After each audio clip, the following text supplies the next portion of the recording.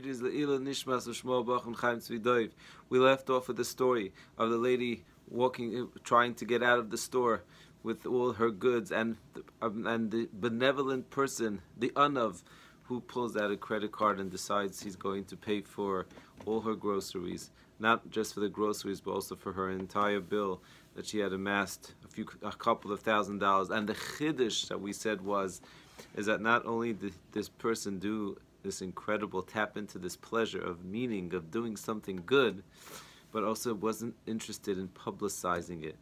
And that's what the Shaar HaKniah, Chovos written a thousand years ago with the Askama from HaKadosh Baruch Hu, who said that this is a safer to learn. By the way, yesterday was the Yahrzeit of the Noam Elimelech, or two days ago was the Yahrzeit of Noam Elimelech of Emelech Melezhinsk. One of the things that he writes is to learn Chovos HaLevavos. It was the bread and butter.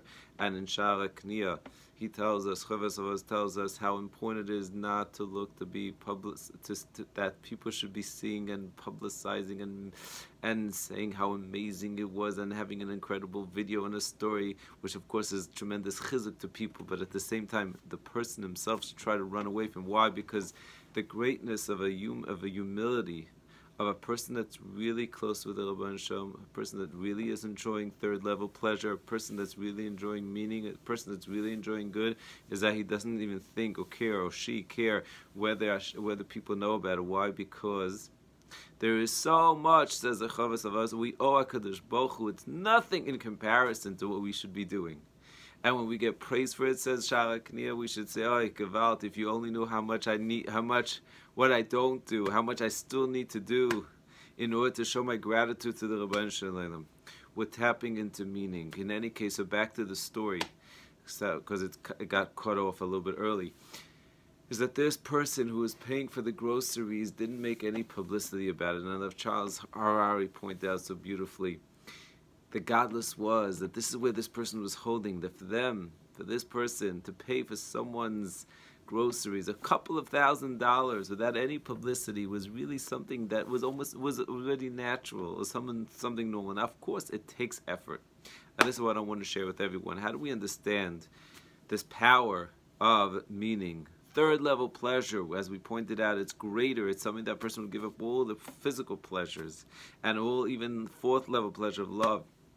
So, I want to share with you what Rav Noach used to use. He uses the following example. Imagine, I was just actually, I had to go to a wedding. So we passed through Manhattan. In Manhattan, there's some beautiful places to see. Usually, if you're in New York, you don't necessarily see it or go and enjoy it until a tourist comes. So imagine you're going on one of these boat rides. Some beautiful boat rides, you know, in the dating days. That's what uh, usually um, a person, if he gets to, goes. Anyway, there's a boat. There's a boat that you could go. I think it's called to Arthur's Island. Anyway, you're on this boat finally, even if you're married already and you're trying to have an anniversary date. So it's beautiful. You go on the George Washington Bridge, and then you get on this boat, and you go to uh, to Arthur's Landing, and you're on this boat with your wife. It's having a, having a beautiful time, beautiful evening. Have some special kosher food, and then suddenly there's a scream someone had fallen into the water. Now, of course, everyone's looking and everyone's thinking, and you know, to jump into the um, what uh, the Hudson, not the Hudson River, the, the water of uh, in Manhattan is not the cleanest water. I think it's Hudson water, right?